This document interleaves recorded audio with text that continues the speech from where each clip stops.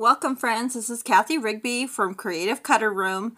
I am here to show you my cow card that I'm going to make. This would be a great card for a baby uh, shower, a baby gift, um, or as a invitation of some sort for a baby party. The cow's cute for all kinds of occasions, but this particular card, I'm aiming towards a little baby boy. You can also make it a little baby girl um, by just doing some color changing. So I wanted to show you what the pieces look like on my mat because I'm going to make this file open to the public. So from now on, when I create pieces on my Cricut Studio, if you can see up here with the CCR cow card, I am going to call them CCR for Creative Cutter Room, and I'm going to give it a dot name. So whatever I'm making, I will reference it by CCR and the name of the project. So this is a cow card. Not very creative, but I wanted to make it simple and easy to find.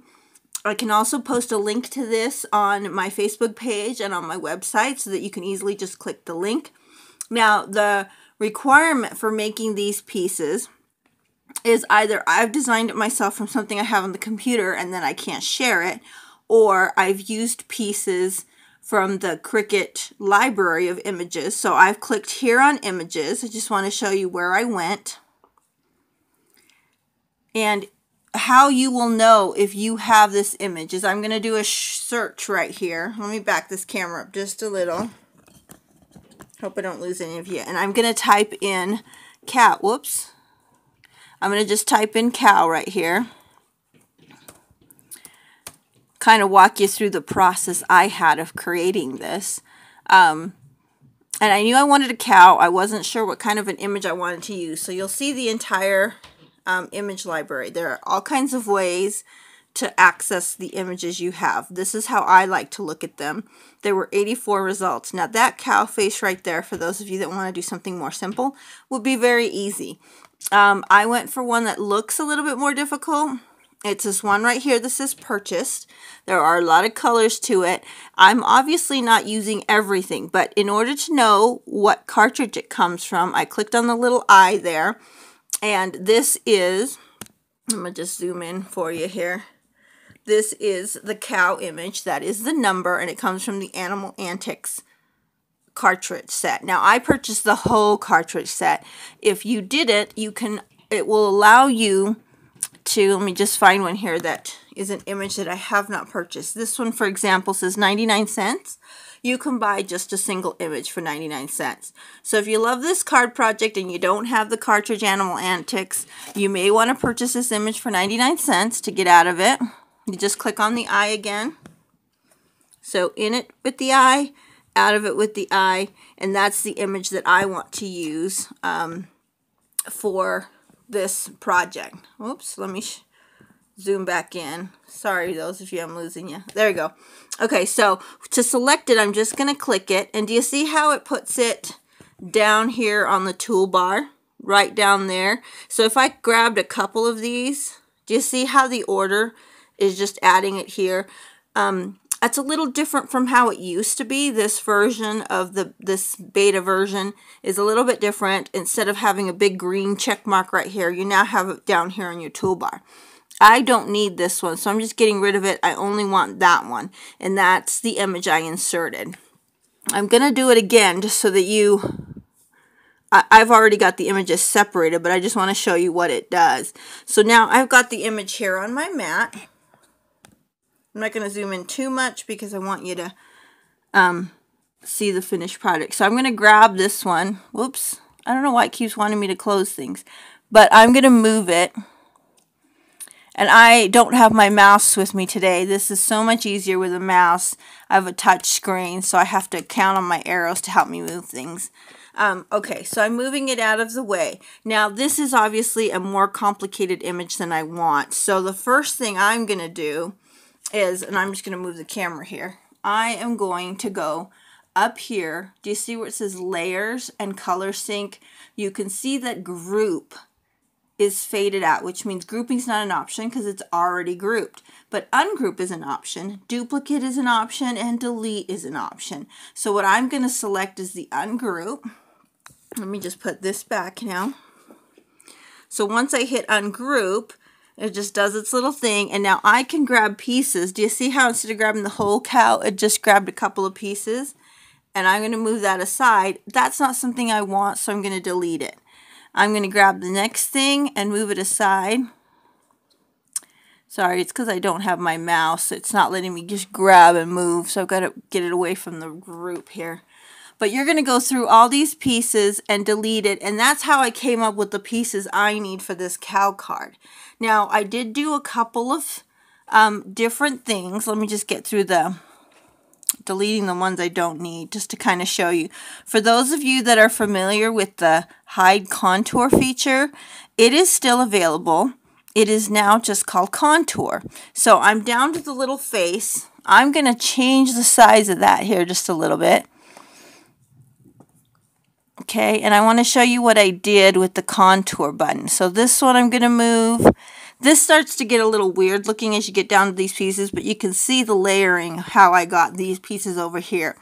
This is the piece I'm going to concentrate on. I'm obviously making it big for a reason. I'm just going to get rid of the rest of these to have some room.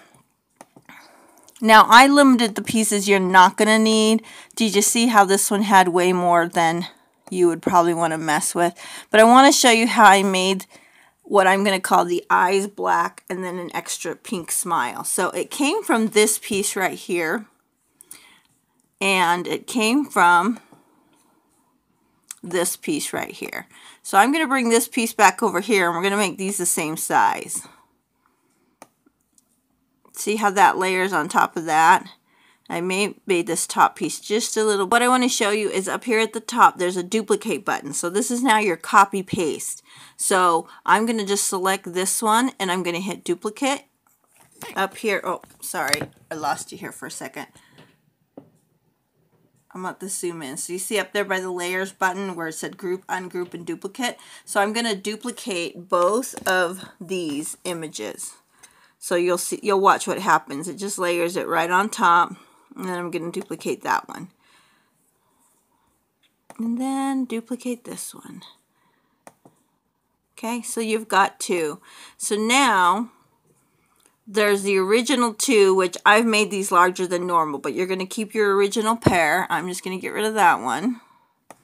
And I'm going to get rid of that one. I really only needed one, but I wanted to show you how you did it. I'm going to lay this one on top of that one. It's okay that it's behind.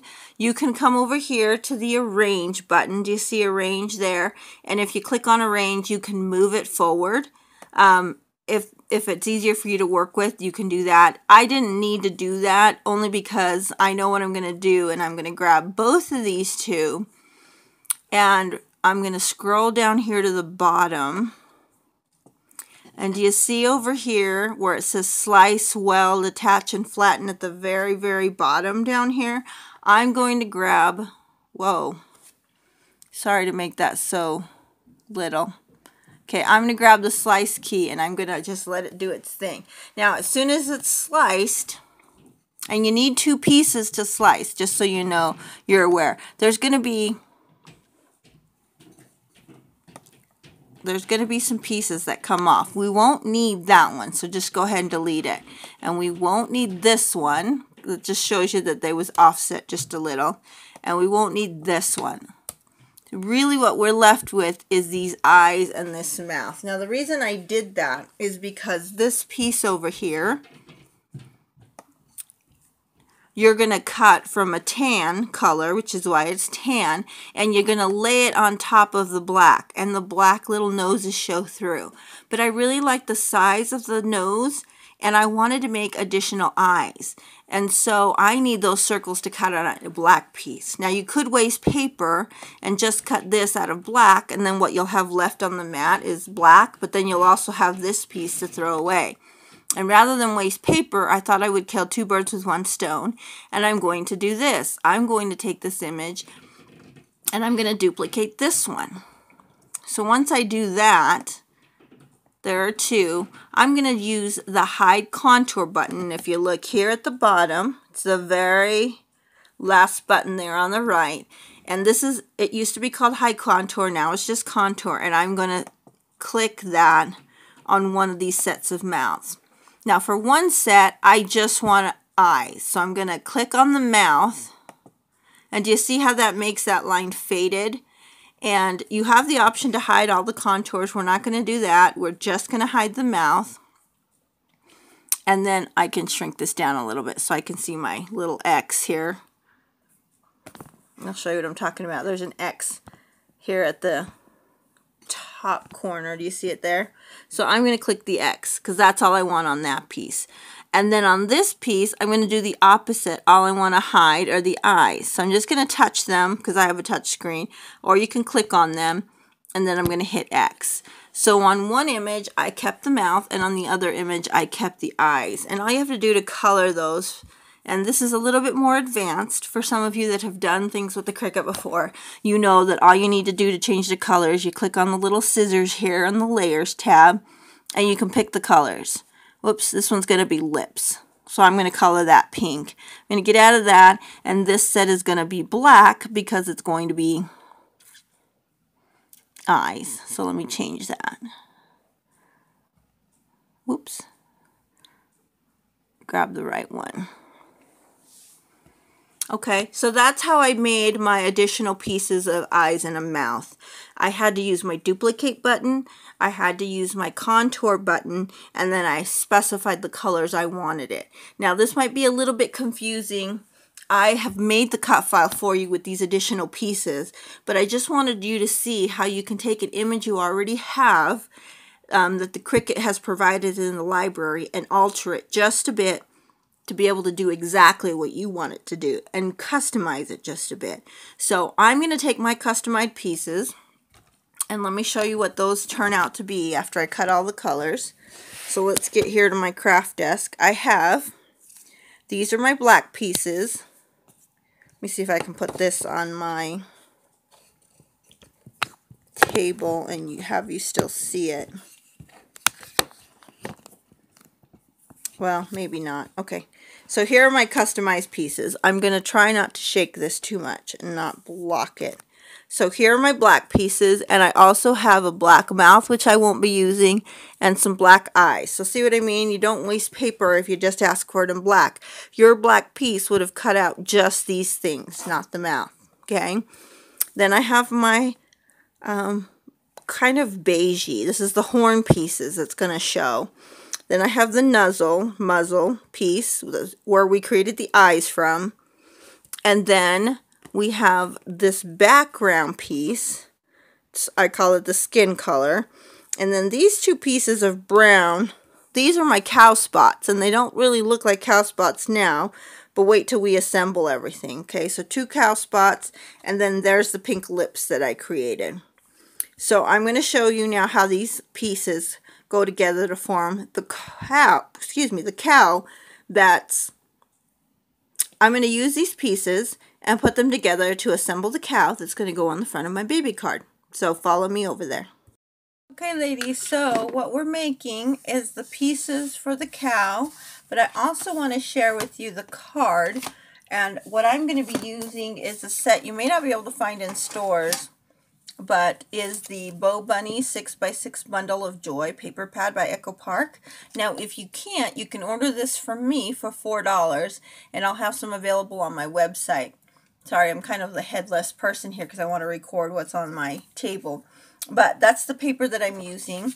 I'm using this pattern, um, this side of the pattern paper. The back side has stars. Either one would work great. You're just going to change your colors around and I'm using some white cardstock. So the cardstock, my card is 11 inches long, four and a quarter inches wide, and you're just going to score that and fold in half. So you're going to have a top opening card. Okay, and then your pattern piece of paper is going to go there so it fits on the card. Now you know I'm not usually a measuring person, but I am putting the measurements. The pattern paper is 4 by 5 and 1 16th, and so it just fits there centered on the card. I also did take some paper and cut strips. And these can be any size you want because I'm going to tear it. And I'm actually going to put the strip across here. So you're going to make the strip 4 inches long, but whatever width you want because I'm going to tear that. And so I'm just going to dry fit this for you so you get the idea. You want a piece of coordinating cardstock. This happens to be yellow. It's three and a quarter by four, and that's going to sit there on my card. So now, as you can tell, I like to dry fit my card and kind of get an image of where I'm going to place my stamps or my die cut pieces. So now here are the die cut pieces. And I will be putting this together. I'm trying to see if there's a way you can see me work.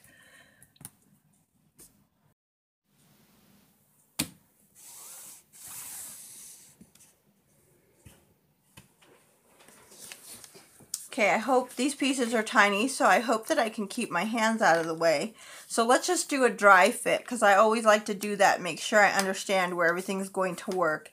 Now, on, once you get the die cut piece, you'll see that there is some um, little cuts that don't cut all the way through, but that kind of allow you to see how things fit. So then next what you see are the eyebrows in that black piece. So that means that this piece here is going to show eyebrows. You also have some lines there at the top and on the side. Let me see if I can point to them with my scissors, keeps my fingers out of the way. And this is telling you that that is where these images will fit. I'm calling these the cow dots. So that piece fits there.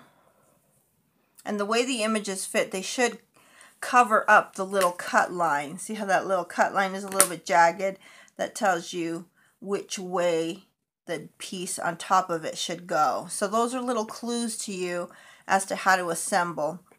Now again, this is a dry fit. It will look much better all glued and inked into place. I'm just showing you the way that the layers pile up.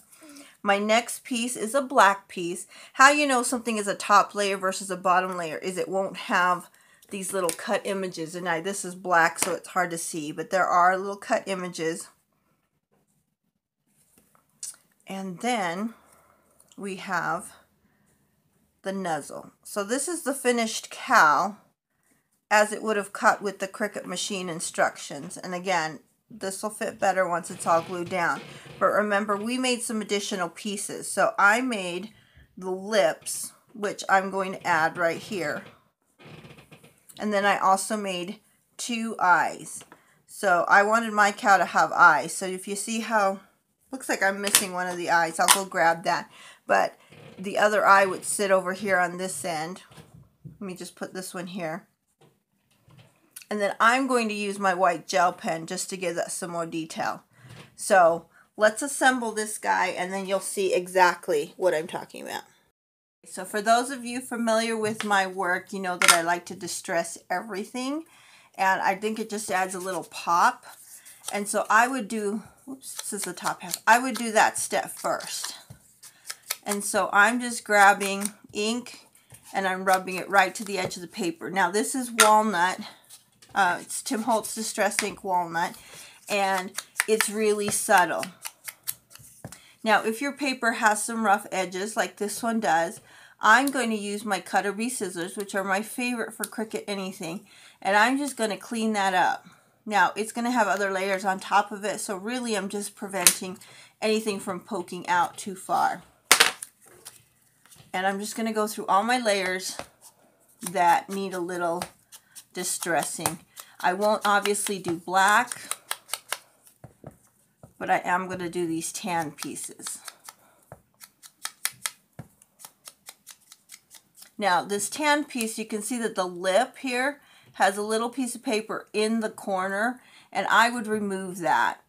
And these Cutter Bees let you get really precise images and that cleans up what I call the fuzz of the cut. Sometimes if your blade's not quite as sharp or the cardstock was much thicker than you imagined and it cut kind of roughly, then you can just clean up that fuzz. The browns I'm also going to distress. It will just darken slightly it won't make a real color difference the way it does on the tan, obviously. And let's do the nuzzle. I'm not sure I got all that. You can use any inks that you prefer. Um, the other tool, and I made a little bit fuzz mess here, but the other tool I prefer is this Zig two-way glue pen because this gets into really fine areas. So I'm just going to scribble some on. There are some of you that prefer to work with tweezers out there, and if you're a tweezer fan, this is certainly one of those times where you can work with tweezers. Um, I prefer to just do it. but tweezers are okay. And obviously I'm on a scratch pad because with something like this, you can go over. And I'm just going to stay away from that glue area. And I like picking them up and sliding it into place. The nice thing about the Zig two-way glue is it stays wet for a little bit and you can totally just slide that right into place. Okay, now there are some areas where the glue has kind of come on top and it shines a little bit. Don't worry about that because you can actually take care of that with a glue eraser at the end. And if you haven't seen a glue eraser, we will talk about that in other videos. Um, because it's a nice little handy tool to have, especially when you do these little intricate images. So we're just adding our layers, and again, you're just going to follow the cut images, the cut lines that were put in the previous image. It really just layers from top to bottom, and um, if you do a lot of Cricut cutting, you'll start to see that it's pretty self-explanatory how to layer these things together. They look really complicated at first. They may even seem a little odd. I'm going to cut this little fuzz that's right there because it's making me crazy. Okay, so that piece is out. And I'm just going to keep on layering bottom up. And so I get asked a lot, how do you know what's the bottom up? Well, obviously, if you lay something down and you can see nothing else behind it, that was not the next piece up. So each pot should show something from the underneath, something from a previous layer should still uh, be visible. If it covers everything completely up, then you haven't gone down enough layers. So again, like this nuzzle is the exact same size as that black piece, but there are holes in it so that you can see through to the black. I would not, of course, put the black on top of this piece because you wouldn't see any of it, which would be the wrong order. Okay, so now you can see the little black noses. There's nothing wrong with the black lip there. It's certainly cute, but I wanted to add this little piece of pink. This is a great piece for tweezers. I may have just glued this backwards. Let's see. Nope, that's correct. But I wanted a pink smile, so there we go. So now that's the Cricut image that would have come out from doing this die cut just as you saw it um, uh, from the image library. But what I wanted to do is, of course, I added the pink lips, and now here are my two black eyes that I wanted to add.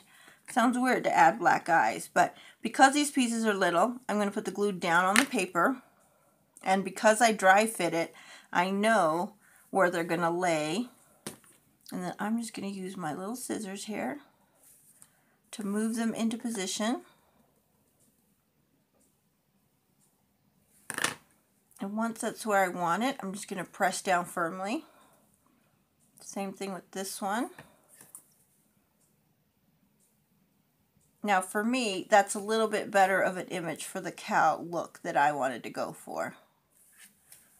Now that's, there's a brown spot there and there is the eyebrow. So I'm kind of working with a couple of other pieces around it, but I can make it work.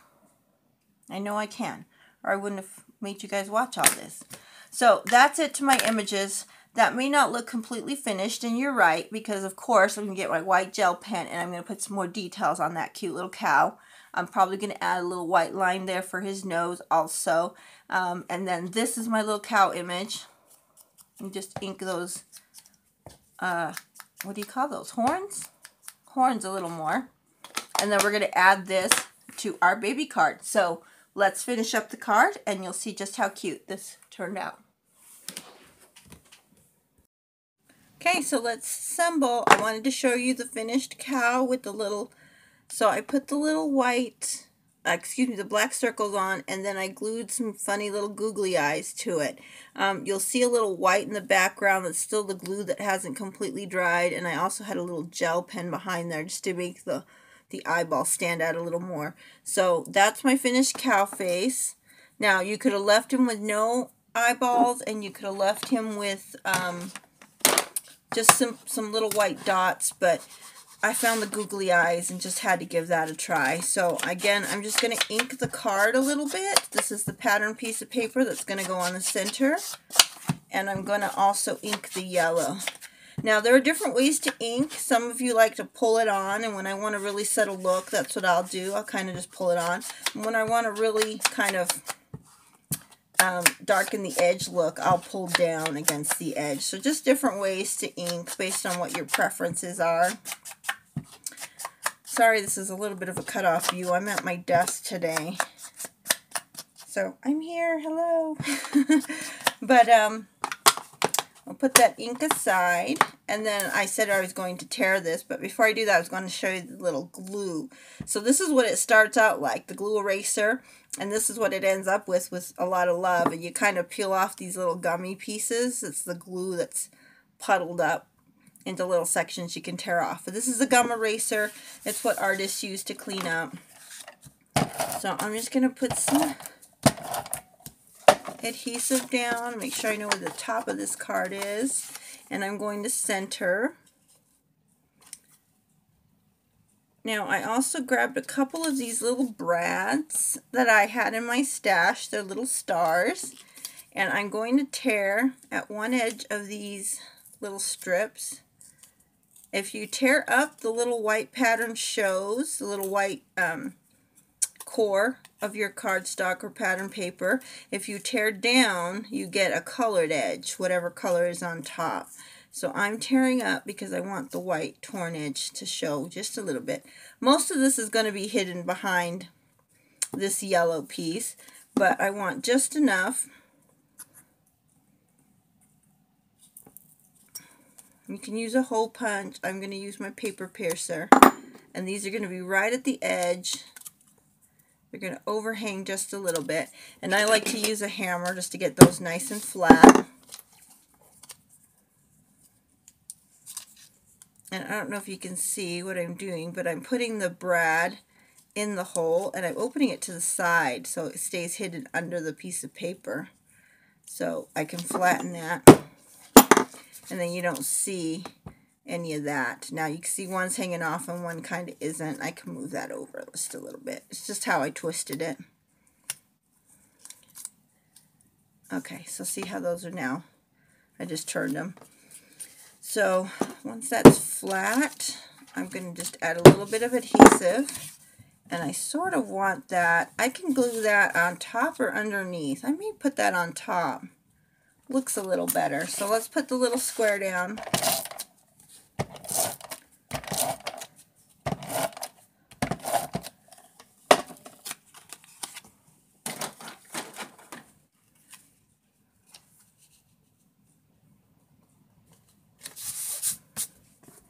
And then I have a little messy spot right there. So another good thing that your eraser's for. And you can raise this up on dimensionals or little foam squares. I'm actually just going to adhere it flat. I think I'm going to put my sentiment below the tear. And then my little, now my little cow face can either just be there floating in space or I've got one of these cute little doilies. I'm trying to decide which I want to do. Um, doilies come in all kinds of sizes from all kinds of places. I believe these ones are just all a dollar. I have smaller ones that are this uh, brown and blue. Um, but of course when I sat down to make this, oh, there's a whole one like I couldn't find a whole one. There's a whole one. It's got a little bit of a torn edge, but I don't care. I think what I'm going to do, you can tell me if what you think. Does that look cute? I don't know that I like the big white one now, but I don't think I like the brown one either. We might do without it.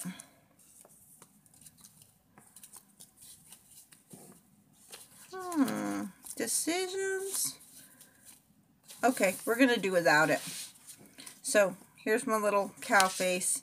I'm going to put that straight down.